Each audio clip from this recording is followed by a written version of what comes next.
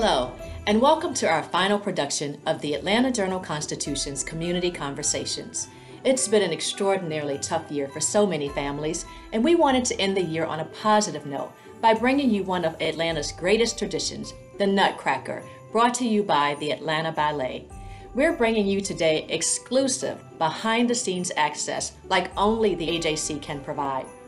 We hope you'll enjoy this, and we also hope you'll come back to us in 2021 for more of our Atlanta Journal Constitution's community conversations where we're keeping you informed and connected. Now sit back and relax. You will enjoy this, I promise. And also, from everyone at the AJC, we want to wish you a safe and happy holiday season and a very happy new year. I'm Bo Emerson with the Atlanta Journal Constitution, and I'm here with the dance critic, Cynthia Perry, and we are at the Atlanta Ballet to talk about ballet in a special edition of one of our community conversations. We are going to focus on the Nutcracker because it's the holiday season, and this is when most of you will probably go to the ballet, except not this year.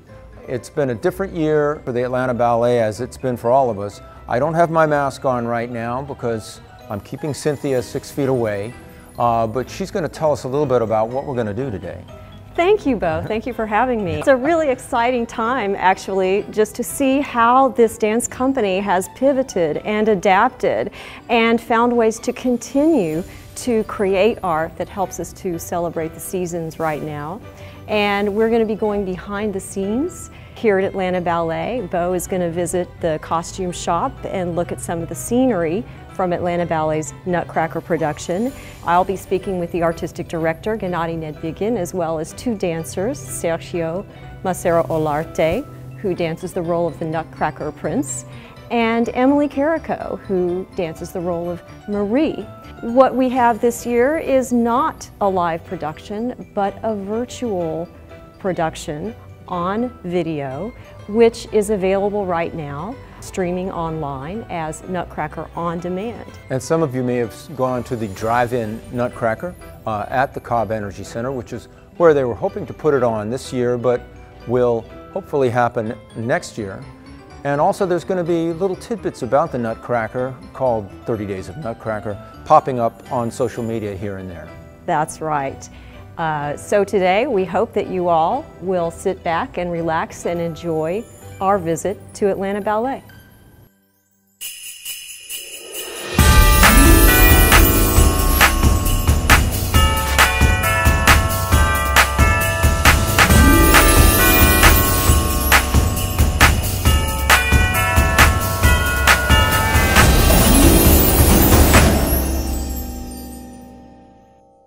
We are here at the Atlanta Ballet with some great dancers who are all part of the Nutcracker.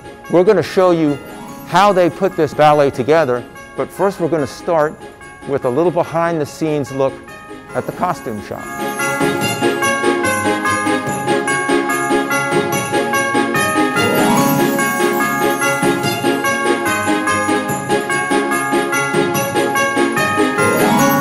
Are in the costume shop at, at, the Atlanta Ballet, and we are with Colleen McGonigal, who is the costume manager. And how are you doing today? I'm doing well, thank you. So we are surrounded by costumes that you're actually building for a show that y'all are going to put on in the spring, uh, you know, if everything works out right. Yes, uh, most of the costumes that we're currently working on are for uh, Snow White, our children's show uh, choreographed by Bruce Wells. And these folks are actually putting together Snow White's costume as we speak, is that yes, right? Yes, We, we saved the best for last. Uh, we had worked on the butterfly corps um, and some other characters, but now we're working on Snow White herself. So. But this is also where you have put together the 200 costumes that you have for the Nutcracker. Uh, this is part of the place. The Nutcracker actually took about two years of planning and work, um, and it was spread out through shops throughout the world, really. Um, we had makers in the UK, we had makers in Germany, uh, we had people in Seattle working on them. Because it is 200 uh, costume pieces and we're such a small shop, we had to sort of spread the workload. And then they mail them back to you, or? Uh... uh they would actually travel with them. They would, uh, from the UK, they actually came by boat um, and they put them on, they packed them up and sent them, and then they flew over and we did fittings together, um, and then they sort of handed things off to us, and then we finished construction. So. And we talked about uh, how the the dancers will sometimes tear something, and uh, in fact, this is a very vigorous uh, uh activity, and uh, you have to be ready with a needle and thread during performances when something when something gets ripped or comes apart. Yes, uh, it is as beautiful as all of these costumes look, they put up with so much wear and tear. I mean, the dancers, it's extremely physical, and uh, so they go through a lot. And some of them are harder on costumes than others, I suppose. I mean, yes, but uh, that is true in every field I've worked in, so. And now you have uh, some of the folks uh, who have been part of the Nutcracker modeling some of the costumes right now that you'd like to introduce us to. Yes, um, if I can have our Act One, um, our Gossip and Maid. Gossip Girl and Maid. And uh, would you tell a little bit about the, the costumes and how, how they were constructed? Um, so the reason we have these two costumes together, they're both in Act One, but they tell very different tales about our characters. Um, as you can see, Caitlin in her gossip is outside with her hat and her coat, um, and unfortunately never gets invited to the party. They just move on. Uh, whereas Georgie is working inside as a maid and has her apron. Um, both of these dresses are constructed with movement in mind. Uh, Sandra Woodall, the costume designer for the piece, is very conscious about how the dresses move and flow. Um, so in the case of the gossip skirt, um, it's an incredibly lightweight layers of chiffon um, so that it catches the air and just moves beautifully on stage. Um, Georgie's is a little bit heavier silk, but she still has her little ruffles at the hem uh, to give her sort of a fluttery movement. And these are both made of silk? Yes, they are all made, uh, silk and wool. And you mentioned that uh, some of your costumes are, you keep them for years. Yes. So you you sew them back together again and get them ready for the next, uh, the next crowd coming through. Yes, uh, these costumes, uh, I think, Caitlin, have you worn yours a couple of years in a row now? Um, and so, yeah, every year, uh, if we can, we try to put the same dancer back in the same costume. Um, but if it's a new person to a new role, then we alter it to fit that new person. And then she takes it home and throws it in the washing machine, or? no, uh, we don't let things out of the building. No. Um, the same people who uh, are there and taking care of repairs then also take care of the laundry in the evenings. So, and you, thank you so much for coming out. And uh, you have uh, two folks from the second act of the, of yes. the Nutcracker. Tell, yes. tell us about them. Thank you both. Um, okay, so next up we have our snow costume. Brilliant. and we're giving Miss Winnie a bit more space. And so now, when they build a costume like this, do they have to build it right on you? Um, the initial, we sent measurements, um, and because all of the makers have worked with dancers, they can generally make the pattern without seeing, but this particular costume was made in Germany. And Birgit, uh, who was the maker, flew over and we did fittings. Um, and then she flew back and finished the costumes and then came back and we did our second round of fittings to make sure that everything was just the way she wanted it. And, uh, uh, and so that was at least two uh, transatlantic flights for that costume. Yes, yeah. And then, then, then somebody came with the costume when it came here. Yes. Well, actually, uh, Birgit had managed to uh, spiral these skirts um, into her luggage ah. and ah. uh, brought them with her, which was an amazing thing to watch them sort of in a magical box kind of way. All of these skirts just kept coming out of this very small piece of luggage. Because so. talk about the, the, the, what makes the uh, form uh, remain. You have a, a kind of steel in there that holds that uh, this is actually, um, in the skirt itself, is actually a carbon rod that um, ah. we get from kite making suppliers. Pipe making? Kite. Oh, kite making uh, suppliers. Yes, which All right. is a thing that I was unaware of okay. until um, I had to source it. Um, but yes, it helps keep the shape of the skirt. Um, Yuri wanted when they do a spin for it to flatten out a bit and look a bit more like a snowflake. Uh-huh. Um, and so this was the technique that uh, Birgit, the maker, and Sandra, the designer, came up with. And of course, in the old days, they used whalebone, but they don't have as much whalebone now. Yes, uh, in the bodice there's the spiral steel, um, and the whalebone is what used to be used. Um, but yes, uh, not not anymore. And you have uh, another uh, another costume that you would like to show us, is yes, that right? yes. Our uh, final one for today is our. Flower. Thank you so much. So this is the flower corps in Act Two. So, um, and you have a kind of a woodland theme uh, in your crown and in, and in some of the decorations here. Tell about how you make those things.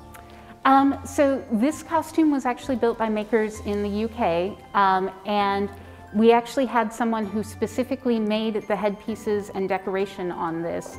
Um, and she actually, each one of those leaves is handmade um, and decorated. So it took her days, weeks, um, just to make the decoration for the flower costume. Um, and the other thing that is wonderful about this costume is actually all of the painting on the bodice is hand painted, um, so you get that lovely mottled effect. Um, the designer's sort of vision for this was um, the bushes you see in winter where there's a light dusting of snow and just a few leaves hanging on, um, but with that kind of hope of spring, so there's just a little bit of blue shot throughout the costume. So this is spiral so steel. This is spiral steel boning, and we use it to help keep the smooth line that you see here.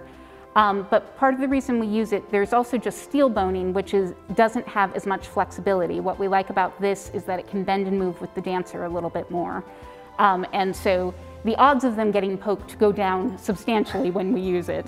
Uh, if we use the other one, it just doesn't allow them to move the way that they need to move. It's, it's quite an engineering marvel. Yeah, it is um, almost like chainmail in the way that it is Yes. sort of individual links stacked together. So, And now you mentioned gemstones uh, uh, in, this, in this costume here? uh, well, she has the rhinestones, which is just a little bit of sparkle you see from Sure. stage, um, and they are all um, glass.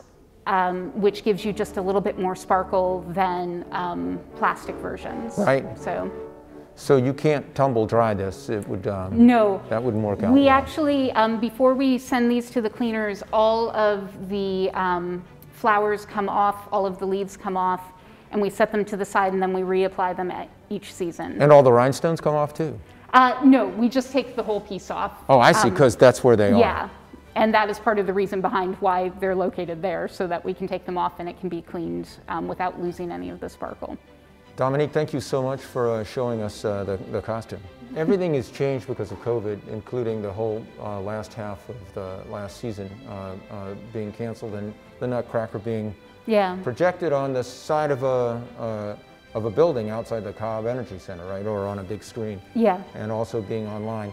But uh, how, how has it changed things, uh, say here in, in, the, uh, in the costume shop? Um, well, for us, we just we have to be more aware of, of course, our space. Um, you know, we've tried to make it so everybody has a bit more of their own workspace. Um, and with the dancers, we just have to be extremely aware in fittings to make sure everything's cleaned before and after. Um, and just to take a little bit more time in between dancers. You know, um, in normal seasons during Nutcracker, we can have you know, we'll be doing fittings every 15 minutes, um, and so that's a high turnover, and now we have to kind of slow that down and give ourselves time in between. And now, as, as you pointed out, this is where you build and, uh, and repair uh, uh, uh, costumes, but you have hundreds of costumes, and you have a big warehouse where you keep them all, including a room that's cold as if, uh, because the costumes like to stay cold. They do, or at least at a, uh, a consistent level, and Right. it, we also have dehumidifiers to help keep uh, the moisture levels down. So we're gonna uh, go and check out that warehouse where you have costumes dating back 20 years and uh, maybe even longer. Yes, we do. But Colleen McGonigal, I appreciate you taking time with us right here. Thank you so much.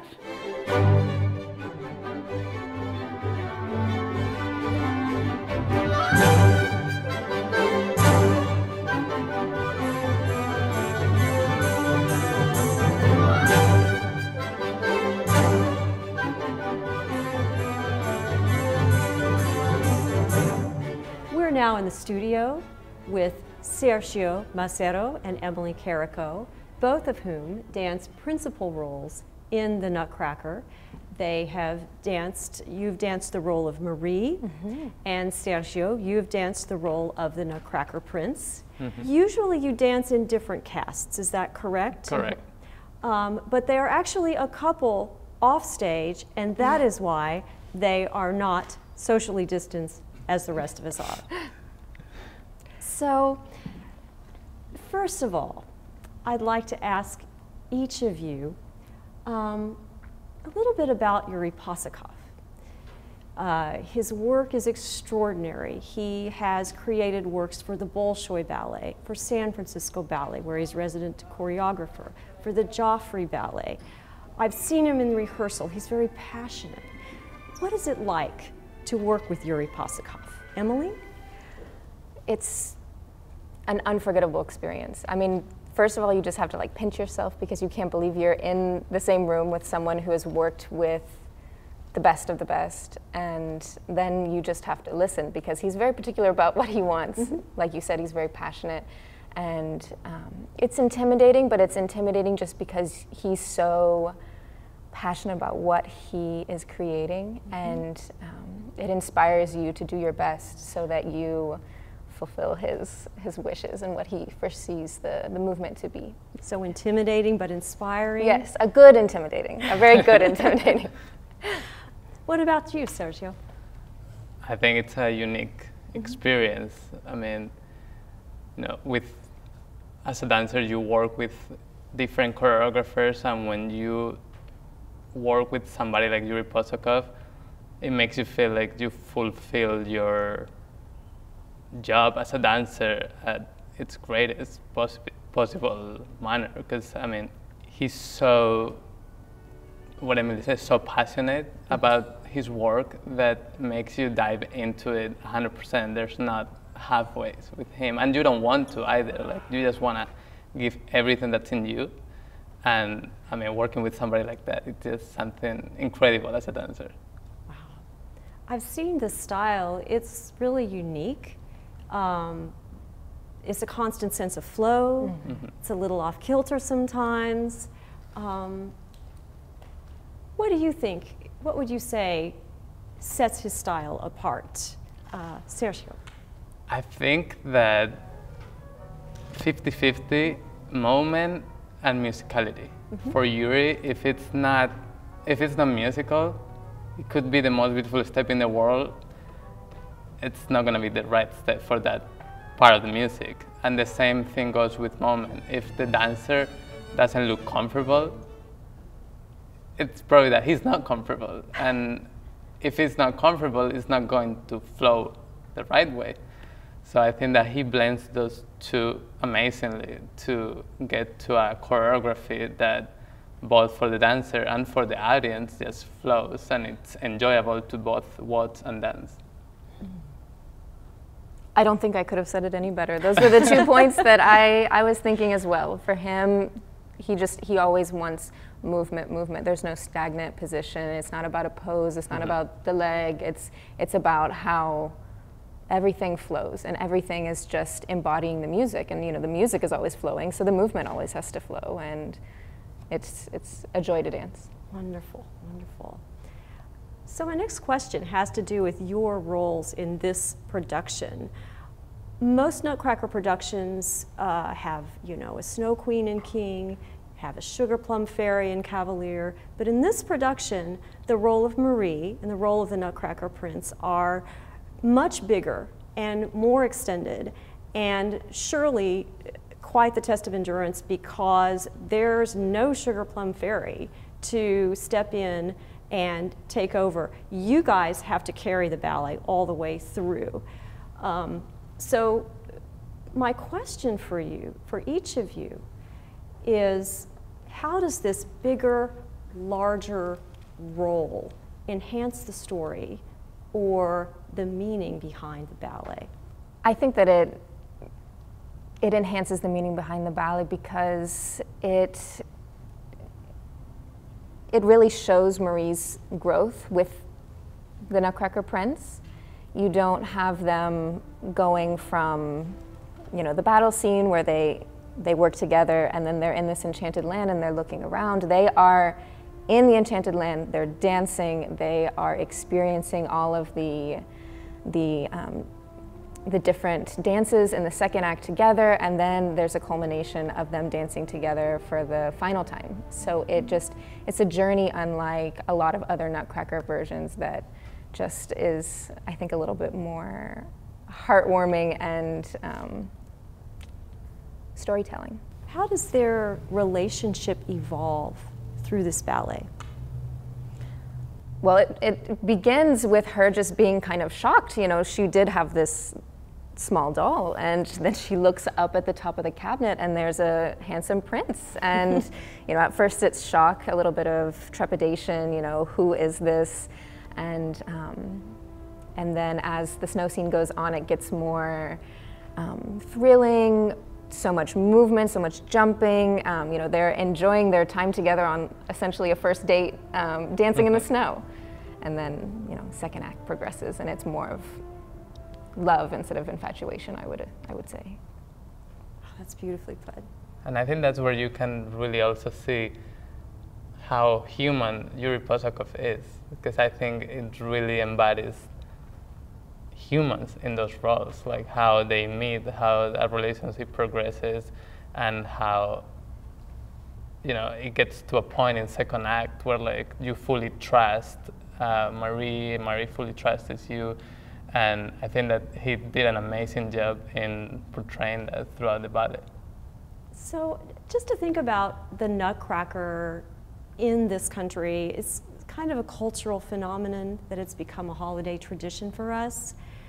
And Emily, you grew up in the United States, and so probably danced in many, many Nutcrackers over the years. What role has the Nutcracker played in your development as an artist?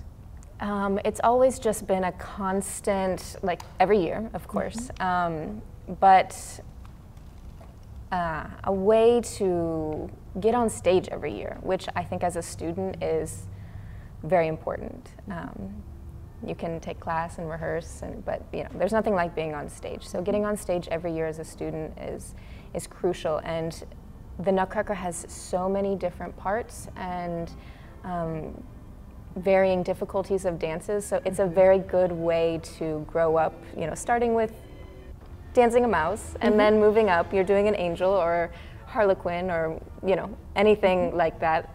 And um, then you finally reach some more difficult roles. So for me, growing up doing Nutcracker was just always like, oh, I hope I get this, this, the next part, the more difficult part. I hope I'm Marie next year. I hope I'm in the snow corps next year. And always just something to look forward to, something to um, continue working for. Mm-hmm. It was very important when I was growing up. yeah, so there's like this progression of mm-hmm. roles and you get to one level and then you have something else to aspire to and work towards the next year and, mm-hmm. and, and again and again. I want to ask you a little bit more about your training because we've had conversations before and you had back surgery when you were quite young, mm-hmm. uh, spinal fusion, um, and then you found ballet. How did you experience ballet as a form of healing? Um, sorry, I found ballet very just um, thrilling. I, I really enjoyed the challenge. So anything to take my mind off hurdles that I had overcome before was a step in the right direction. And I was very hungry to just do better and please the teacher and, um, and do my best. So I think having that to work towards and not concentrating on you know, you probably should be taking it easy or whatever. It didn't matter to me because I was working towards a goal. Growing up and beginning ballet, it was a way to um, not only get my body in shape to where I had a strong enough back um, to just continue through through life in general. Um, it ballet just gave me that drive to reach for something more, even though I had been told that maybe I wouldn't be able to achieve X, Y, and Z. I didn't just achieve X, Y, and Z, I achieved much more. Exactly, because you had said the doctors doubted you'd be able to run mm-hmm. again after the spinal fusion, and now you're dancing the principal role in the Nutcracker. Mm-hmm. so, so all those years of training and the structure of ballet. Mm-hmm. Yes, it just instilled the right kind of mentality um, to overcome anything. Yeah, dance in itself has the ability to give us the tools to overcome obstacles and to deal with challenges. Um, certainly, we've all had a lot of challenges uh, since last March with this pandemic. And for instance, I know Atlanta Ballet had a production of Giselle that was just about to go up in a week. And suddenly we were all sent home. And it's been a long journey for all of us through this pandemic. In what ways, Sergio, has dance enabled you to adapt? I think that, um, you know, people has suffered a lot during the pandemic we've suffered in the sense that we couldn't come to the studios, we couldn't stay in shape, do what we do, and especially what you mentioned, going to the theaters and perform for an audience, which is what make us keep going the most. Mm-hmm. So that's been hard, but at the same time, it's been really, um, it's been a really good feeling to to know that even though we couldn't get to the theaters, we've still been able to, through online resources, through just outdoors, different um, situations, we've been able to transport that um, art to people that perhaps was needing it even more than us. Mm-hmm. And with with everything that some families have gone through, I think that something very important for them was maybe just to take their mind off the current situation. And even if through a small piece of dance that we've done in the past that we've been able to share with an online audience, that's probably helped a lot of people to take their mind off everything else. So knowing that even if we were not doing it right then, but maybe we had clips from before that we've been able to share with those people. It's, it's been a really good feeling to, to know that to a certain degree we are doing our part. And I think the company has done an amazing job just sharing um, you know, to the best of their abilities with and reach out to the biggest audience that they could possibly reach to. Emily Carrico, Sergio Masero, thank you very much for talking with us. Thank, thank you. you. It's our pleasure.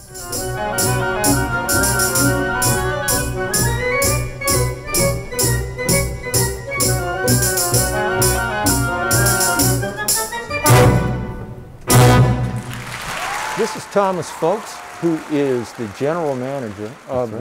the uh, Atlanta Ballet and you are also the production manager. Uh, yes, I'm the director of production, so everything that happens on the stage, except for the dancing, sort of falls under my world. And uh, what you have in here are thousands of costumes. We were just in the costume shop where they're busy building and fixing, but you have a lot of shows that you put on. We do. We have all of all of the shows that we build. We store all the costumes get stored back here in their own special space. Um, so I'd love to take you back there and show you. Let's go. Let's do it.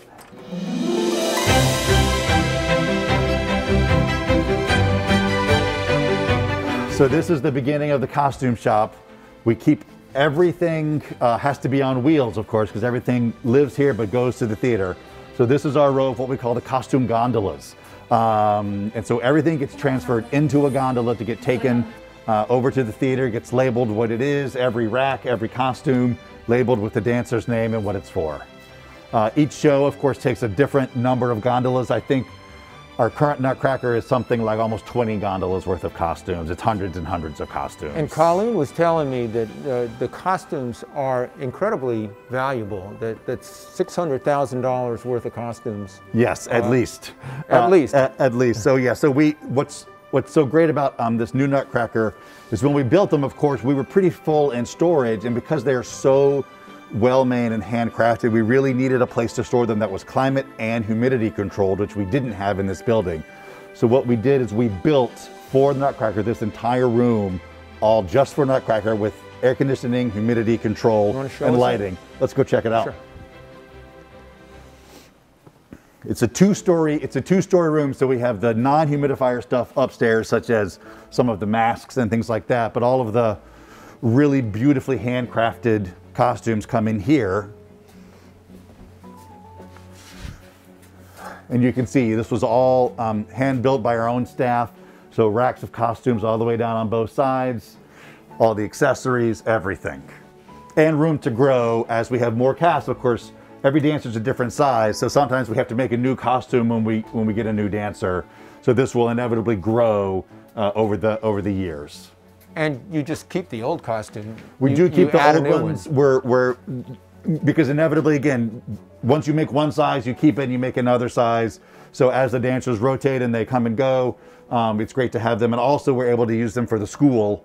Um, our Center for Dance Education uses a lot of our costumes um, in their performances because we love to give the students a chance to um, be on stage and be in costumes just like professionals. So Colleen was telling me there are 200 costumes that go with that show, but there, you probably have many more than that. Yes, exactly. So we probably we probably for this version of Nutcracker, we probably have almost 400 costumes.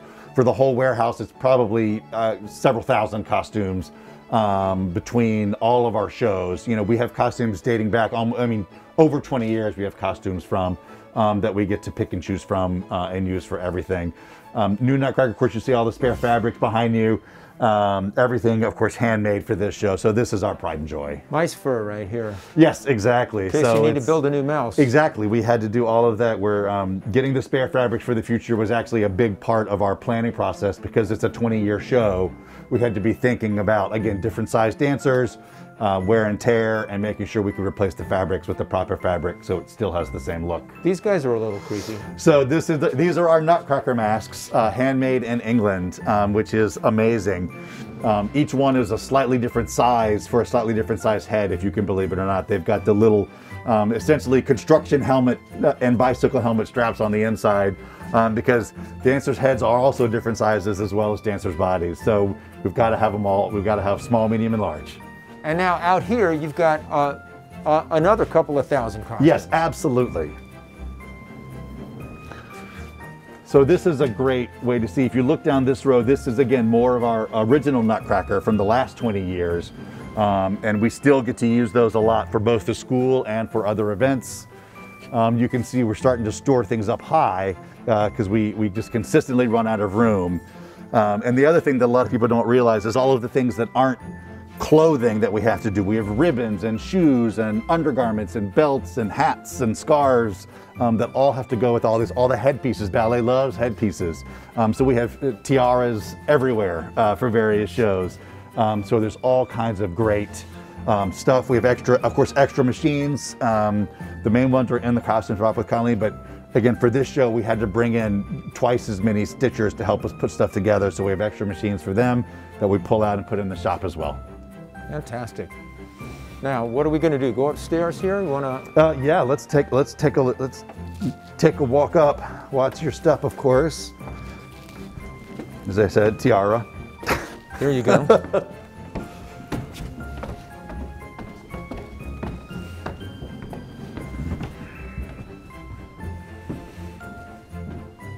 oh, look at this. This gives you a good view of the. Uh, Right, so now we're standing up here on top of where we were. Um, what we've put up here are some of the rehearsal clothes, a lot of the masks, um, and again, a lot of those accessories, hair, hair accessories. Um, here's rats, um, rat heads, and so you can see they've got the shoulder straps because they're so large and heavy. Um, this is sort of some of our older Nutcracker masks. Some of you longtime Nutcracker aficionados might recognize the pig and the bear. Um, so that's been great. So this is a lot of um, both both old and new Nutcracker mixed, sort of stored in a way so that we can have access to it as we need to.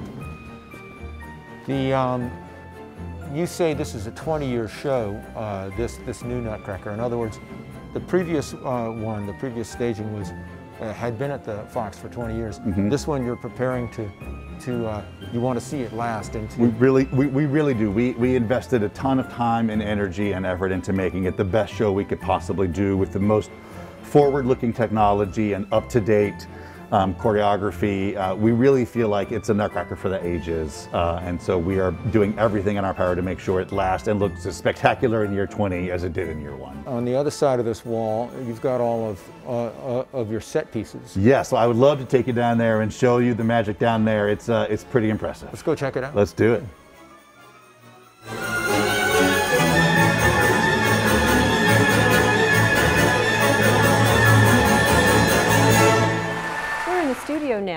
With Artistic Director of Atlanta Ballet, Gennady Nedvigin.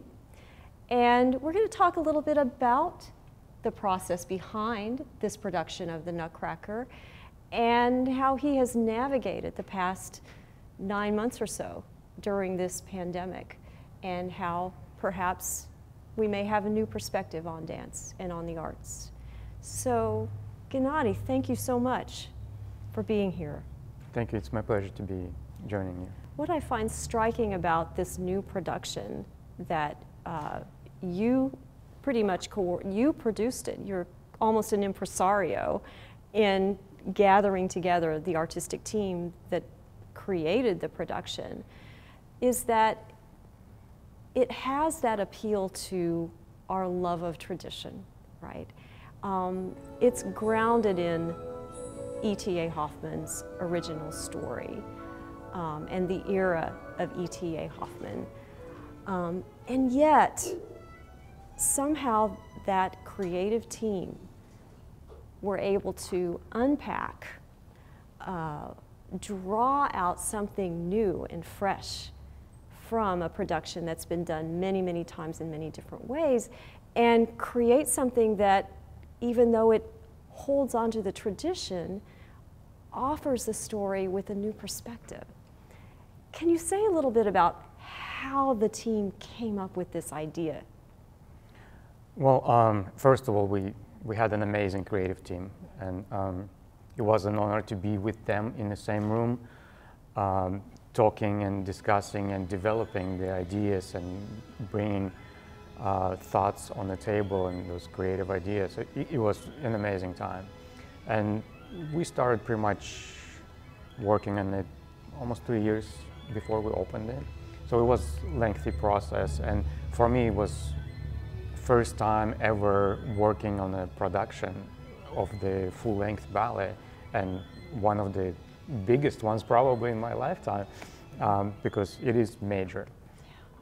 Um, I think the creative team were basing on traditions and creative team consists out of uh, people from different countries, different um, places. So everybody pitched in something that they had, they grew up with, and they uh, transferred it maybe a little bit differently and brought it in into the ballet. So there's a, it's a summarization. It's not, not one person that created it. It's, it's a, a huge collaboration.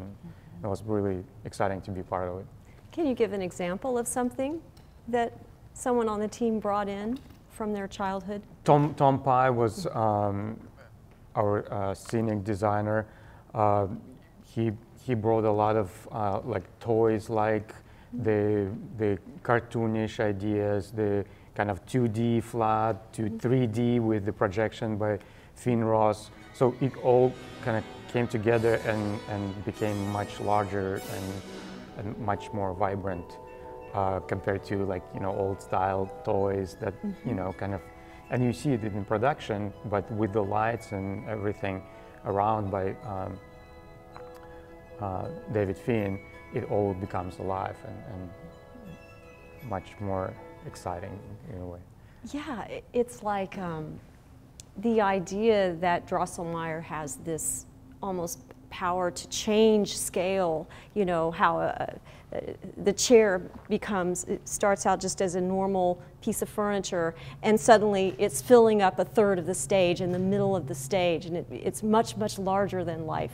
The cabinet, uh, it, you know. Huge, yes. And, and, you know, we experimented, we had different things, different ideas. Yuri had, Yuri Possokhov had many ideas, and he was kind of seeing it all, and we were trying to fit it all on stage.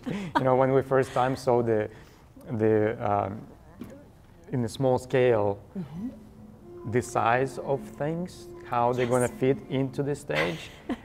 uh, we actually questioned would it fit onto the stage. We literally had to like measure every mm-hmm. foot so that the, it's possible to enter. Same thing with the Kennedy Center because this production was created for the Fox and uh, CPAC in mind. Mm-hmm. Uh, so th- those were the challenges of how huge and magnificent those um, scenic elements are. Um, so just to, thinking about the idea of adapting. When the pandemic hit, tell me a little bit about that path for you and how, as an artistic director, you have managed to navigate a lot of unpredictable twists and turns? Um, well, it's a, it's a hard one because navigation in these waters, unknown waters, for everybody was a huge challenge and uh, around the world. And doesn't matter would it be leaders, political leaders, or uh, leaders in the arts or businesses. Everybody got into unknown waters, basically. And um, all we could do is um, to put our creative minds together or separately and come up with the ways how we can stay safe, but stay alive mm-hmm. um, in, in many ways. In, in details, of course, we, at first when we just got hit, we said we can't just stop. So um, we turned to TV, to virtual reality mm-hmm. right away. Um, pretty much everybody around uh, the world did that. And we started doing Zoom classes. We knew that dancers cannot stop because stop will, will bring the, the whole art scene to halt. And, and um, we have to keep it moving. So we were exploring new ways how, how to continue moving.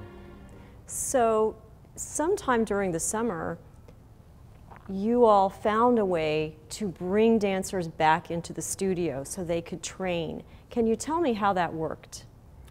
Uh, yes, well, from the, at the beginning, we, we were allowed dancers to come into the studio and use the space one by one on their own, uh, making sure that it's clean before the next person comes in. So one of the first um, steps we did, it, it was uh, bringing the summer intensive uh, program live. Okay. And Sharon Story, Dean of the CDE, uh, Center for Dance Education, did a great, great and amazing job uh, preparing all the materials, working with CDC guidelines, mm-hmm. uh, making sure that it's safe to bring um, students into the studios. And based on that experience, we were able later on when our season were supposed to begin, bring our dancers back in the studio. But um, instead of for example, working in one studio, having our morning class, our tradition, our breakfast mm-hmm. for dancers. In one room, we had to split it, and we were using four rooms mm-hmm. uh, to do that, so that we have smaller pods. We call them pods. Pods. Uh, groups, yeah, of dancers that they stay uh, social distance. You can see the squares.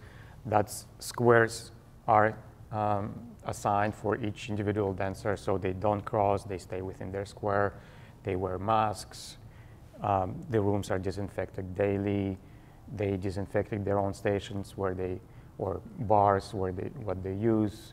You can see numbers around, that's also So um, there's a lot thinking went into uh, bringing dancers back and allowing to be active, and um, just thinking about um, uh, it gets emotional mm-hmm. um, when the first day dancers came back. The joy, it was amazing.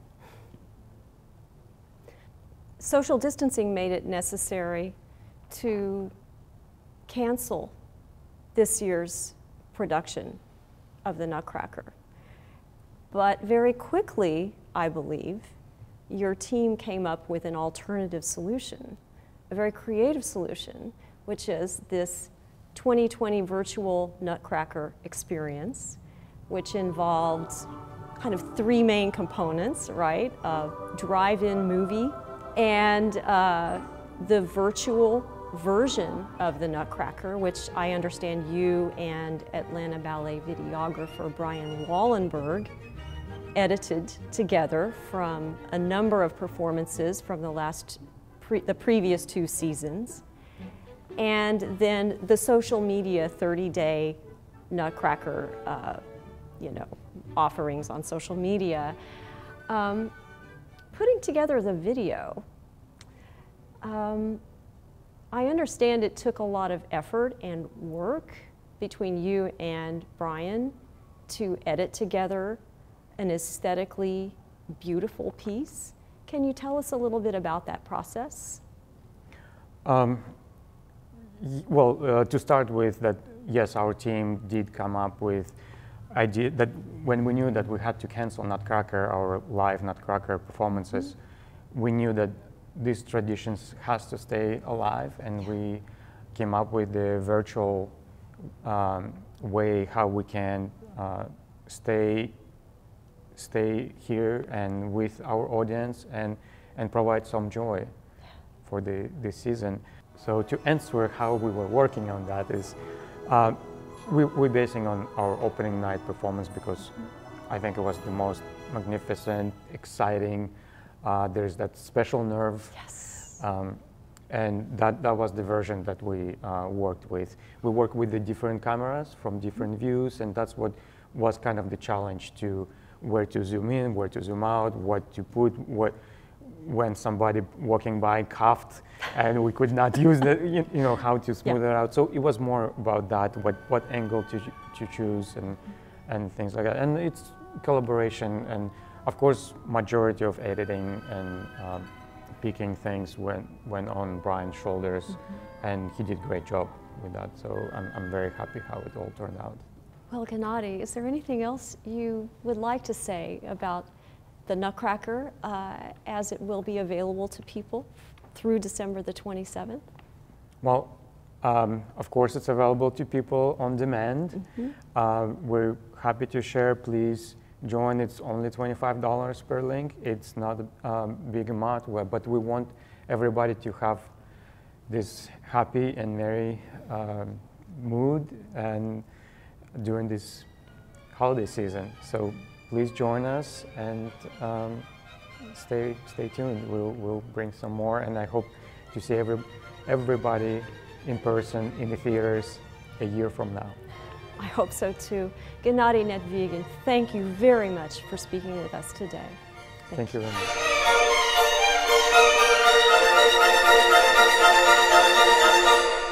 Hey, we're here with Thomas Folks, who's the general manager of the Atlanta Ballet. Thank you so much for uh, joining us. My pleasure, my pleasure. And you've brought us into now this part of the warehouse is where you have stored uh, all the scenery, not just for the new Nutcracker, but for uh, all the shows that you do. For all of our productions that we do, everything sort of starts here in one way or another. It's scenery, props, lighting, sound, uh, the space where we make the stuff that we make, the stuff that we store, the stuff that we rent, it all comes through here and it's stored here. And I see you got your lighting trusses here and your, your road cases. Or? Exactly. Everything we do has to be on wheels, of course, because it all we don't perform in our own building. So everything goes on a truck and over to a theater. So so we love wheels. So, uh, so you're like a rock and roll band. Exa- it's a lot like that, actually. It's very similar in its way. Or just um, once we get after the lighting, it's all nice boxes. When we get into the scenery, is where the shapes start to get weird and where the the truck Tetris begins.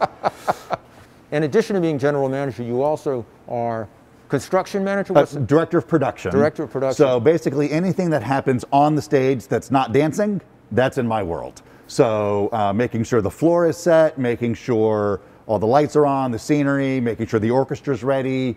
Um, all of that falls under the production department, which I also get to head. And now that means that you also had to deal with uh, staging a drive-in movie uh, outside the Cobb Energy Center. We did. That was a very unique experience. It, it was. Um, we had the idea sort of in the in the early fall, um, and of course, uh, uh, my family has gone to the Starlight Drive-In many times, and we thought it would be such a great idea to do it up at Cobb Energy because they're big, good partners for us. Um, but it was a very different experience. You know, you think it's kind of the same, but we, I learned a lot about outdoor video, outdoor lighting, outdoor decorations. But it's been a real blast to figure it all out, uh, and it was just a huge success. And now, you, so uh, you were telling me a little bit about the new Nutcracker, which uh, has been at the Fox in 2018 and 2019. Correct. It was built for the uh, Cobb Energy Center, but then COVID happened. So uh, it's what twice as big in terms of just all the sets and and and every, everything. It takes up that whole half of the warehouse. Here. Exactly. So it take it takes up like 40, almost 40 to 50 percent of our of our set storage space that we have in our building. Um, it is definitely over twice as big as the old Nutcracker. Um, the technology is all current. There's tons of video. The scenery, as we like to say, oversized, uh, for lack of a better word. But um, we have some of the tallest set pieces certainly I've ever seen. You know, our the giant cabinet. Um, which is one of the most magical moments. It's 30 plus feet tall. And describe the cabinet arrives at what point in the in the So, show? so in the in the middle of Act One, um, as Marie sort of fades into her dream world, the cabinet, her world transforms from uh, her parents' house into her oversized world.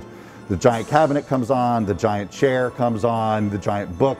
Everything happens. The cabinet arrives full of live, living toy soldiers. three stories of toys, to, of, uh, of toy soldiers um, that are dancers that all exit through these giant doors um, that magically open. So and you have 12 stage it hands pushing it's it so on. heavy. It's it's multiple tons, and it takes 12 stagehands giving it all they have to push. We could use more, but you, you really can't get any more people around it. So uh, so kudos to them. It, it is not an easy job to push that thing full of dancers as well. Well, we are, uh, like I say, backstage at uh, the Atlanta Ballet at your really huge uh, facility over here on uh, Marietta Boulevard. Uh, and uh, we get a chance to, to uh, visit places like this because we want to give you folks a, a, a chance to peek a little bit behind the scenes.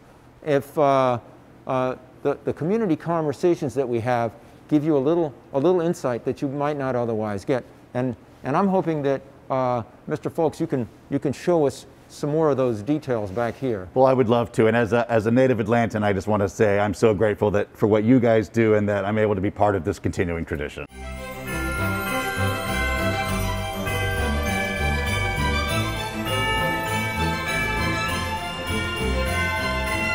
So the great thing um, about our warehouse is that it's all in one big location. We're very lucky that we have everything here between our offices, our studios, and our warehouse. So all of the production staff gets to all work in the same building.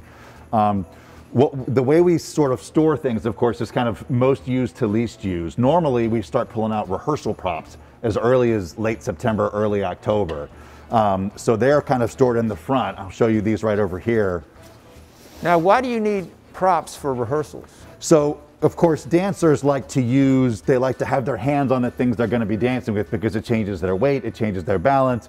As they're spinning, they want to make sure they know exactly what kind of spacing they do.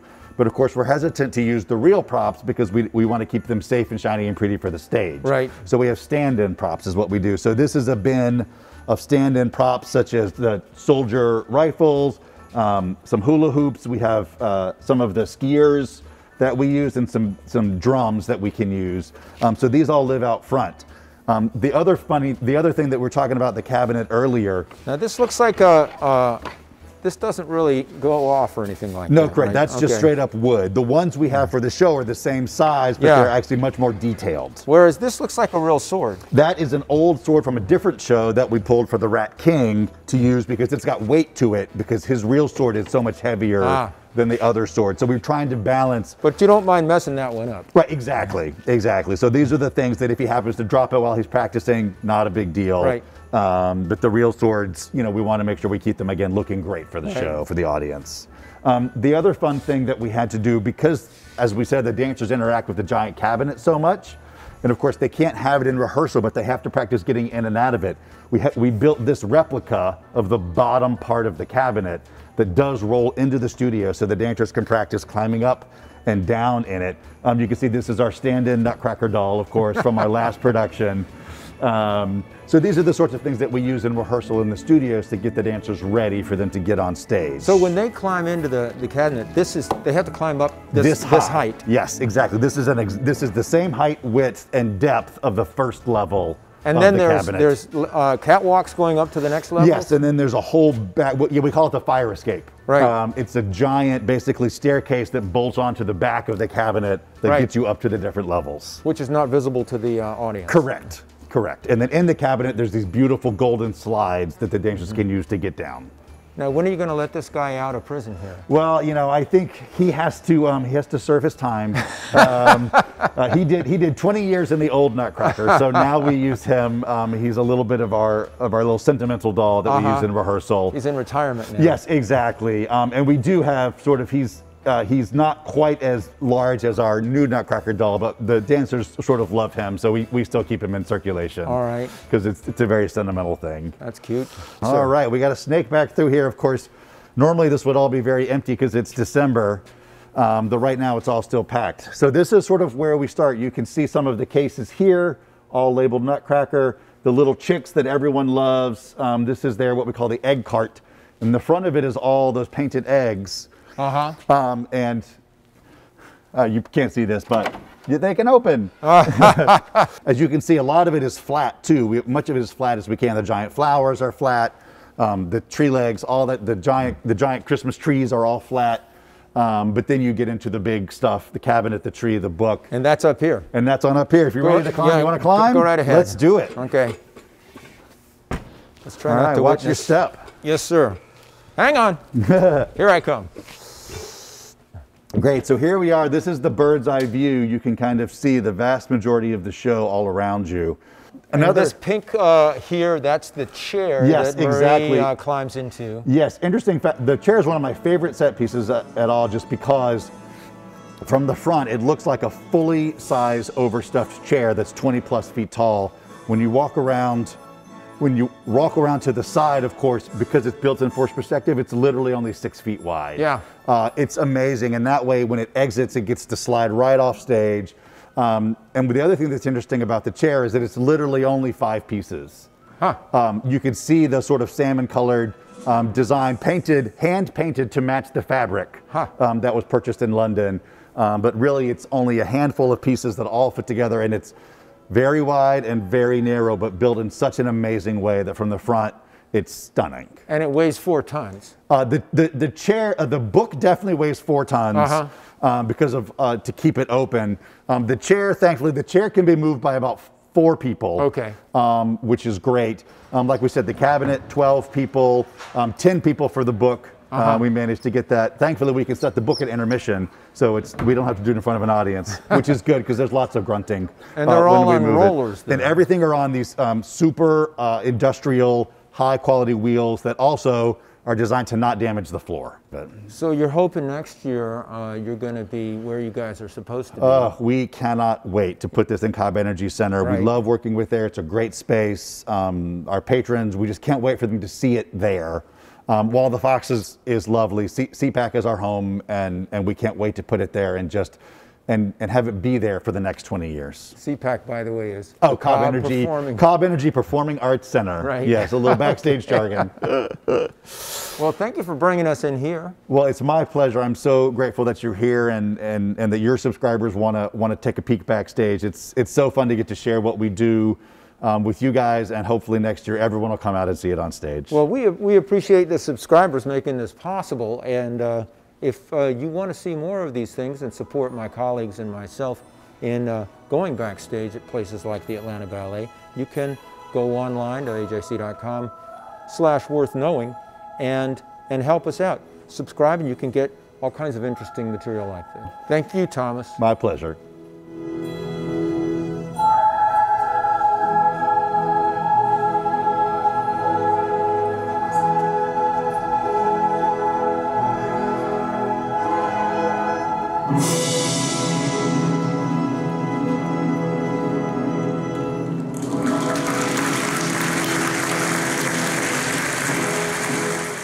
That was great. I had a blast. I hope you enjoyed yourself.